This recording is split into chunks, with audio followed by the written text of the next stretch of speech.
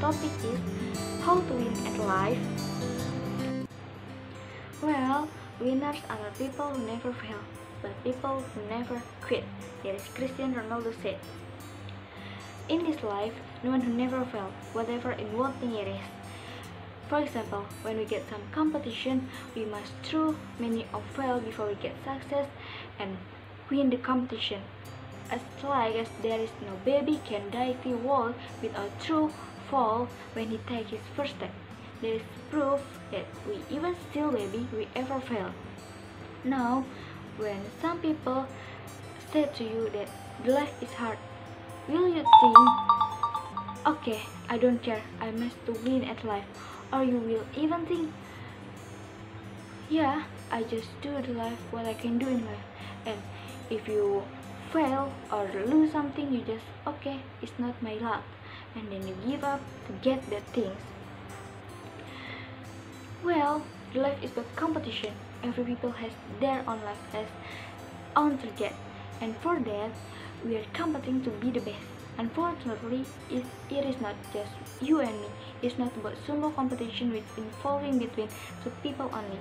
There are a hundred or even million humans which has same things with the things what you want to reach. And every one of them also has own strategy to get a win.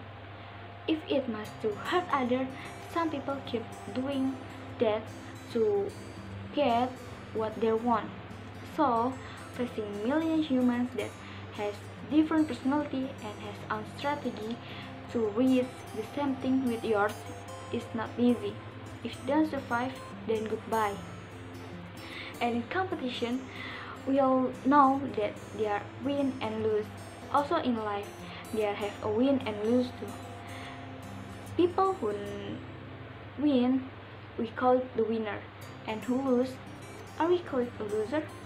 Not necessarily, because in reality, in fact, lose and loser are different.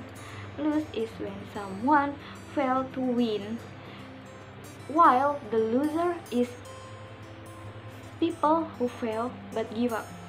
Now try a little more. And it happens when they not trust themselves and too lazy to try again, uh, which make them can survive. For that, you must have the ways to can survive to win at life. And I have three ways that you can do. First is face the life fairly. It's nothing to be scared for if you keep on your way to get your target. And second is don't think of people's bad words to you. Just focus on your target because action speak louder than words.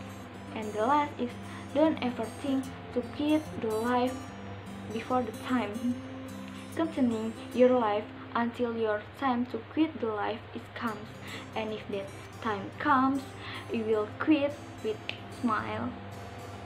At the end, in fact human is place of failure, but the world is the place for people who want to survive their life. If we are not give up and just face the reality of life, we are the winner.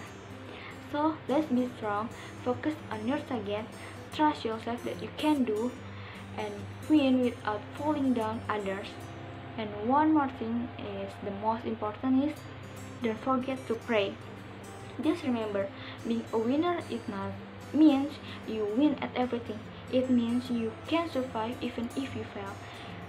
So do more till the end of your life. It's not your time to quit the life yet.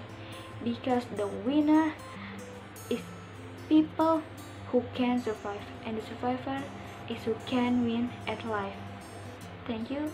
Assalamualaikum warahmatullahi wabarakatuh.